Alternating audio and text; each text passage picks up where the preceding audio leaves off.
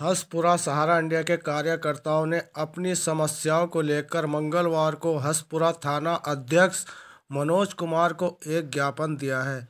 इसमें कहा गया है कि सहारा इंडिया तथा सेबी के प्रकरण में कार्यकर्ताओं के समक्ष उत्पन्न स्थिति से अवगत कराते हुए हसनपुर थाना क्षेत्र के लगभग 2000 से अधिक कार्यकर्ता भुखमरी की कगार पर आ गए हैं। दूसरी तरफ़ जमाकर्ताओं के भुगतान में विलंब की स्थिति उत्पन्न होने लगी है। कार्यकर्ताओं ने कहा कि हसनपुर में सहारा इंडिया का लगभग 24 करोड़ रुपया फंसा हुआ। नमस्कार, आदाब, सत श्रीकाल मैं यूएस खान और आप देख रहे हैं एस न्यूज़ हर एक ताज़ा ताज़ा अपडेट हम आपके लिए लेकर आते हैं दोस्तों। ये अपडेट जो दोस्तों हम आपके लिए लेकर आए हिंदुस्तान टाइम्स है, कार्यकर्ताओं ने थाना अध्यक्ष को दिया ज्ञापन। जी हाँ दोस्तों, कार्यकर्ताओं ने थाना अध्यक्ष को दिया ज्ञापन। बड़ी खबर हिंदुस्तान टीम द्वारा आई है, पंद्रह फरवरी 2020 की बड़ी खबर। हसपुरा इंडिया के कार्यकर्ताओं ने अपनी समस्याओं को लेकर मंगलवार को हसपुरा थाना अध्यक्ष मनोज कुमार को एक ज्ञापन दिया है।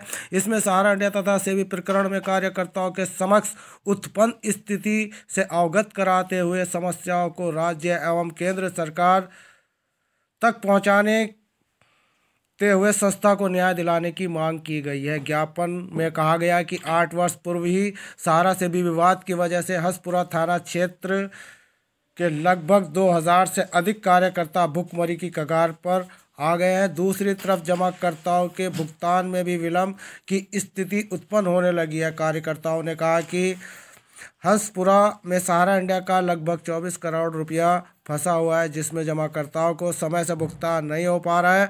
परिणाम स्वरूप कार्यकर्ताओं को नया व्यवसाय भी नहीं मिलने से आमदनी खत्म हो गई है। जी हाँ दोस्तों, कार्यकर्ताओं की रोजी रोटी का संकट सहारा इंडिया के एजेंटों पर मंडरा रहा है और इनको ना तो नया कोई बिज़नेस मिल रहा है और ना इनकी पुरानी रिन्यूअल मिल रही है। उसी को लेकर ये इस वक्त भुखमरी की कगार पर हैं और इनकी आमदनी लगभग ख़त्म हो चुकी है।